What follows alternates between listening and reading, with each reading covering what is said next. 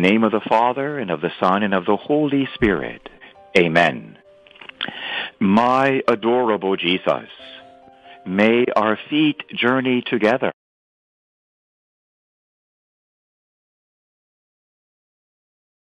This saint is called the Padre Pio of the East. Who would that be? Exactly. It's a bone from St. Charbel, the Padre Pio of the East, and he has as many miracles as Padre Pio on the other side of the world. Did you hear about the story about the lady there in Lebanon not too long ago who had the terrible tumor in her neck in St. Charbel? Anybody hear about that one? Isn't that incredible? Oh my gosh, she had a huge tumor where she could barely breathe. And the doctors were afraid even to operate on it because they said that she could actually die in the operation. It was that huge.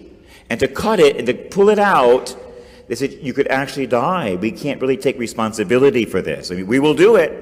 If you want us to, you have to sign the papers, though. We're not responsible. So she signed the papers to get ready for the surgery, and she went to bed that night. She loved St. Charbel. He's from Lebanon, and she's from Lebanon. She went to bed that night, and she, she had a dream.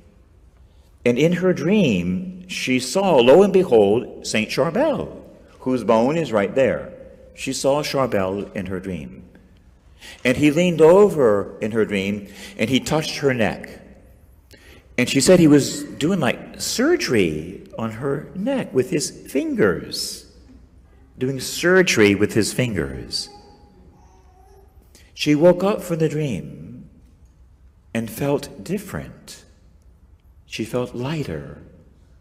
She felt better. She touched her neck, and the tumor was gone.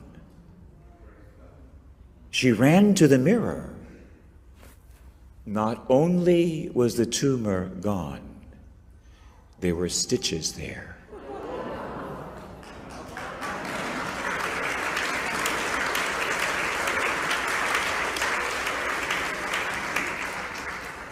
Is our God great or is God great?